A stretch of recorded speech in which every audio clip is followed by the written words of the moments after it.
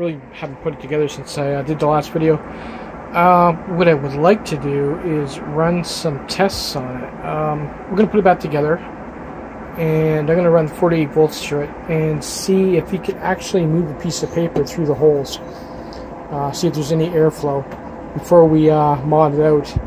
I'm thinking we don't need huge holes. Uh, I might just open the holes up big enough to look like that. That should be more than enough. Uh, it's better to have a bunch of really small ones than one, a couple of huge ones. So we'll uh, we're gonna test it with before and after the mod, see if there's a difference in the uh, airflow with this built-in fan. Yeah, this is probably the thing I hate the most is putting these things back together. Uh, well, it shouldn't be too bad with this motor, but uh, but the hub motors is a bit of a pinch factor. So we gotta make sure we get this the right way. Which that being the back. Oh, yeah, Jesus Christ.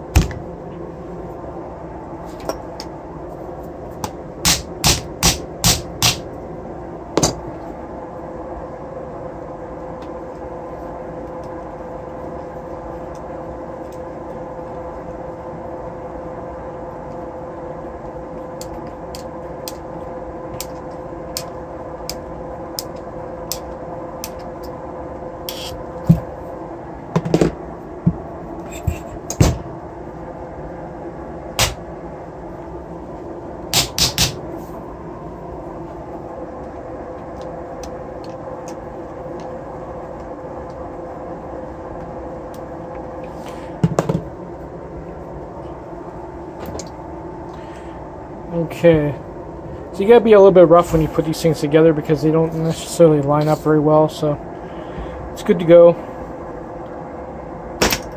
Let's uh, get the uh, controller on this and spin it up, see if we can move some air through this. Okay, so I got it set up at 79 volts, which is going to be my running voltage for this motor anyway.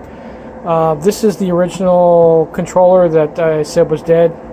Like I said, if the guy would have included a keyed ignition, then I wouldn't have had to done. I wouldn't have had to do this.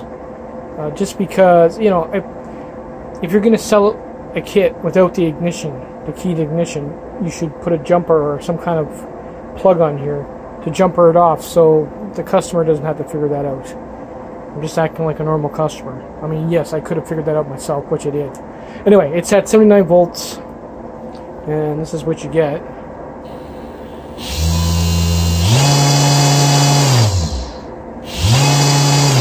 The airflow is not that bad actually.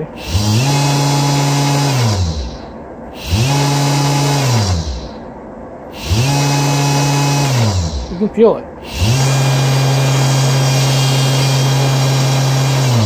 So what we're going to do, take it apart, open the holes up and see if it uh, makes this really flap on the breeze at 79 volts. Press out. Still works surprisingly. This thing was left in the shed. And uh, she rested up pretty good. anyway, so what we want to do is we want a decent bit that's just going to be enough to just open up the back end of that hole.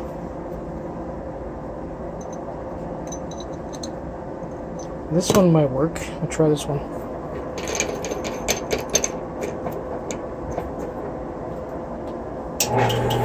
Oh, the way I like it.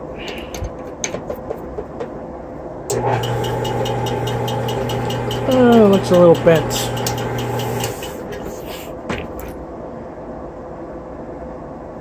Could be just the way it's sitting in the chuck. And it is.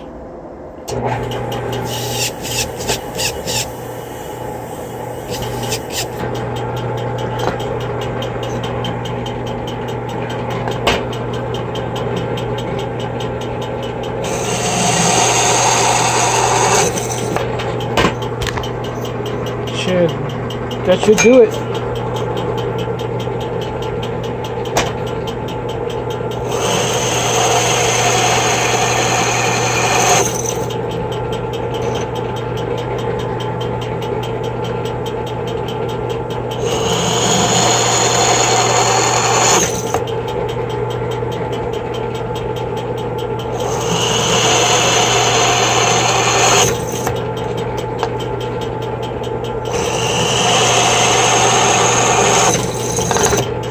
I'm doing it from the back end because what it does is when you push on it lightly, it centers it out so you get nice even holes.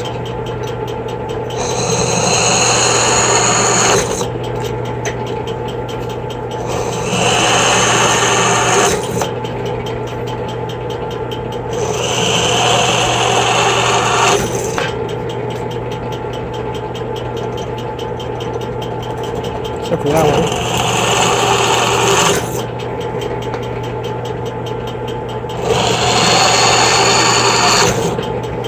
Takes me back to my iZip days. I mean, uh,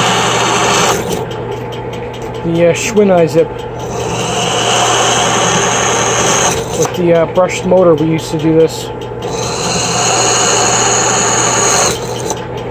Actually works pretty good.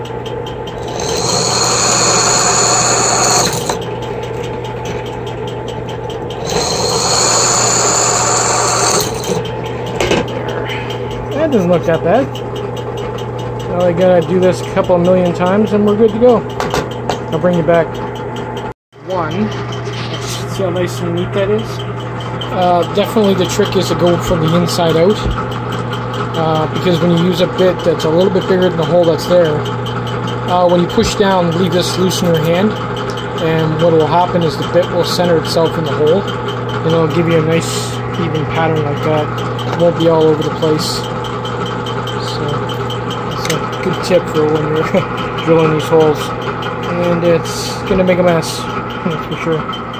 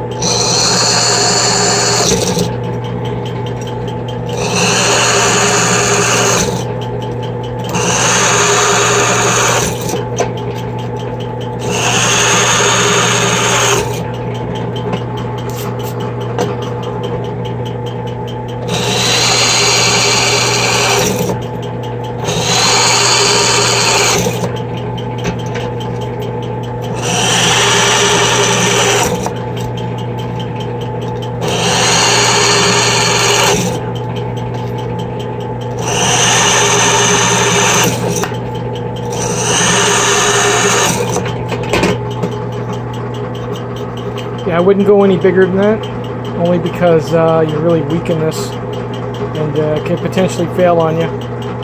That's more than big enough for uh, airflow. Yeah, just before we go any further, uh, just be warned, or be forewarned, that opening up any holes on a motor like this is not a safe thing to do. Uh, only because now, uh, what you could do is you could put a screen on the inside that will keep debris from getting in the motor. I honestly don't care. If something gets sucked in here and it explodes, I honestly don't care. I'll just buy another one. But um, the reason they made those holes so small is because they wanted airflow, but they didn't want debris getting in. So they didn't. They were trying to eliminate putting a screen on the inside. But as you can see, you can really see in there, and the air it throws is unbelievable. It, literally, you could use this as a as a house fan. It's that it throws that much air now. uh, I don't even have to do this, but I will anyway. But uh, it's uh, got some crazy airflow now. It's not only from the front of it, but all the way over here. oh, you see what I'm getting at? I think the airflow is pretty good now. Yeah, so as long as you don't get debris in it, uh, I do recommend using a piece of screen and maybe putting it on the on the back side. Uh, I don't have to put it on the front, unless you were to stick something in there when it's running, it would shatter the fan. But other than that, that is actually a really good mod if you want to run anything over 48 volts. Uh, the amount of air that's coming through, I wouldn't even worry about a separate fan. The fan that's in there is actually works pretty good. And uh, if anything, there is uh, it actually runs a little bit faster because there's less of a restriction now uh, between the fan and the plate. So there you go. Quite easy mod to do. And uh, as you can hear, so you got some serious airflow. Later, guys.